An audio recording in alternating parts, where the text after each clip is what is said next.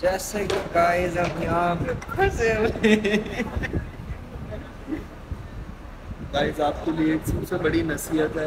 कभी डाइवो में सफ़र ना करना। कभी डाइवो में सफ़र न करना। डाइवो नाम है मजबूरी है मजबूरी। जहाज़ है जहाज़।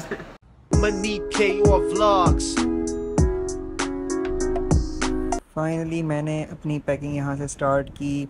और सारा सामान उठाने के बाद मैंने सारा बैग में पैक करना स्टार्ट किया और फाइनली मैंने अपनी पैकिंग कंप्लीट कर ली और बैग बंद करने के बाद मैं नहाने चला गया। नहाने के बाद आकर मैंने तैयारी शारी की और चेंज करने के बाद मैंने ब्लॉग स्टार्ट किया।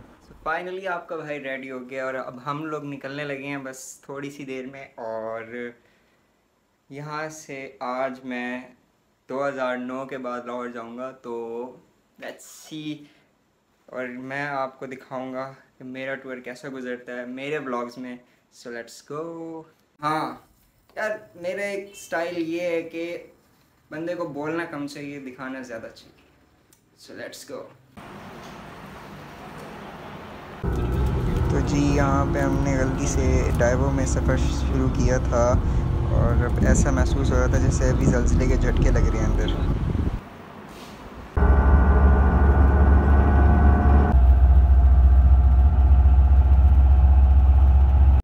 सो so फाइनली हम लोग लाहौर पहुँच गए थे और यहाँ से हम लोग निकल गए। सुबह जाते ही नाश्ता करने क्योंकि बहुत भूख लग रही थी। तो so गाइस आप ये देख सकते हैं हम लोग तैयार हो चुके हैं और अब हम लोग निकल रहे हैं नाश्ता करने के बाद बाहर। और अब लेके चलते हैं आपको कि हम लोगों ने कहाँ जाना है। साहब अपनी वाइबिया साफ़ करते हुए। चले? तो बस निकलते हैं। तो guys welcome to my vlog rule number one health is wealth बात तो सही है।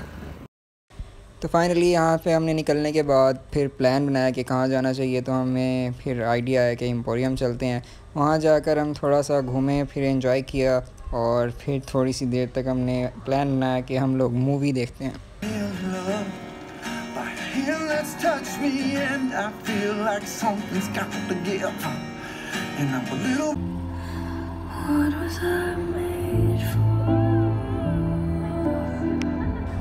फाइनली हम लोगों ने एक बेहतर मूवी देखी जो कि अच्छी नहीं थी तो हम वापस घर आ गए फिर। भाई हाउ कैन आई मिस कि मैं इस वक्त लाहौर में हूँ और बारिश हो रही है और मैं आपको दिखाऊँ ना तो ये तो हो ही नहीं सकता। जो रेन लवर्स हैं वो इस चीज़ को कभी मिस नहीं करते। तो आपको दिखाते हैं इस वक्त यहाँ मौसम कैसा है।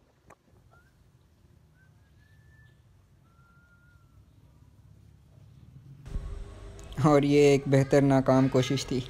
इस वक्त रात का डेढ़ बज रहा है और हम लोग जा रहे हैं बाहर कुछ खाने पीने के लिए क्योंकि बहुत भूख लग रही थी। तो दिल कर रहा था, मौसम भी अच्छा था तो इसलिए हमने कहा चलो थोड़ी सी आउटिंग भी हो जाएगी, हवा खाने का ज़्यादा मज़ा है खाना खाने से। तो इसलिए हम लोग जा रहे हैं बाहर।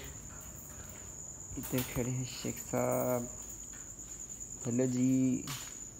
U F C के मारूँगा मैं इसको यूएफसी लड़ेंगे। अपने सारे लड़ेगी को मेरी बाइक दिखाए ये देखो। इसका मैं आपको इसका ये- इंसिडेंट बताता हूँ मुझे जस्टिस चाहिए। मैं जा रहा था किनार रोड पे फुल तेज और मेरा ये टापा उतर गया। अब मैं क्या करूँ? एक लगा हुआ है इस साइड का भी दिखाया और ये और ये चलती बाइक से अंडर पास के नीचे। इसको एक झटका लगा है और इसका एक टापा उतर गया है। अब मेरे पास पैसे नहीं है कि मैं दोनों नए खरीदूँ मुझे जस्टिस सो सैड मैं आपको अकाउंट नंबर दूँगा। आप में से जो जो भाई बहन अपनी शफकत कर सकते हैं वो ज़रूर करें। और हवैस भाई की बाइक का जो टापा है उसको लगवाने में हमारी मदद करें। बिल्कुल ज़रूर। मैं बहुत ज़्यादा सैड हूँ उस इंसिडेंट के बाद। मेरे दे- देख रहे हो आँखें सूजी हुई हैं रो रो के। एक मिनट। मुझे आँखें सूजी हुई हैं भाई। सैड हम हम सैड हम नहीं सुन सकते। ये दुख नहीं सुन सकते हम। नहीं बस बात करेंगे। चले। तो यहाँ से हम लोग घूम के और हवा खा के फिर वापस आ गए।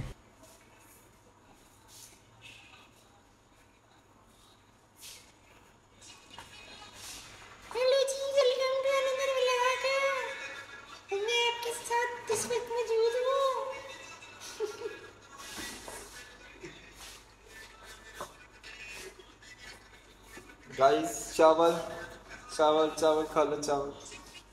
आई विल चलो नीली करी मेरी तस्वीर देख लो। मेरी तस्वीर देख लो।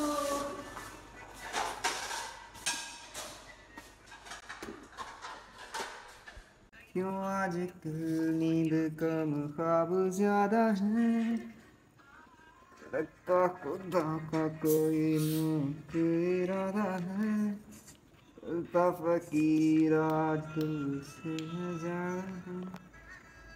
अरे भाई, हम इस टाइम बैठे हैं, क्योंकि हम गए थे उस टाइम बाहर खाने के लिए और पीने के लिए, लेकिन हम खा के सिर्फ़ हवा ही आए थे, जैसे मैंने कहा था। आते वक्त हम कोल्ड ड्रिंक साथ लेके आए थे। और अब हम बैठ के टेरेस की छत के साथ वाली बिल्डिंग की सीढ़ियों पे खाना खा रहे हैं। ऐसे नज़र कुछ भी नहीं आएगा। तो शुरू करते हैं बिना किसी डैश के।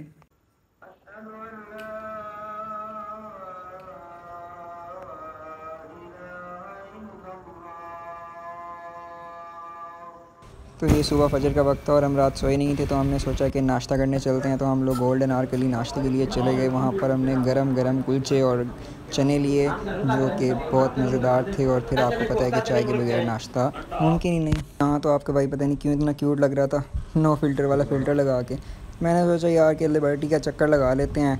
तो फिर मैंने साथ ही साथ एक राउंड लिबर्टी का लगाया और फिर खाना खाने के लिए चले गए हम डी एच वहाँ पर हमने ग्लोरिया जीन से खाना खाया।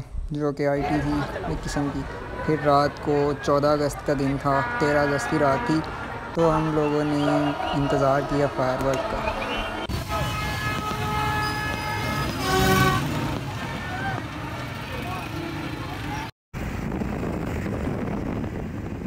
तो इसको कैसे भूल सकते हैं? सुबह सवा चार बजे हमारे कमरे में चूहा आ गया तो हमने इसको मारने के लिए ऑपरेशन स्टार्ट किया और हमने यही सोचा कि अब हम इसको मार के ही निकालेंगे। आइबो पापा। पापा पापा। ता आई ता ता। ओए पापा हैं। मैं सुर के कमरे का गोश्त खाया है। नमक नमक है। नमक खा रहा हम। नमक खाया है और मैं कह रहा हूँ नरम गोश्त है। हाँ। बड़ा सॉफ्ट सॉफ्ट सो फाइनली हमारा मिशन कंप्लीट हो गया और इसको मारते मारते फजर का वक्त भी हो गया था तो हमने नमाज़ पढ़ी। उसके बाद मेरे वापस आने का टाइम भी हो गया था तो फिर मेरा सफ़र शुरू हो गया। इसी के साथ बाय बाय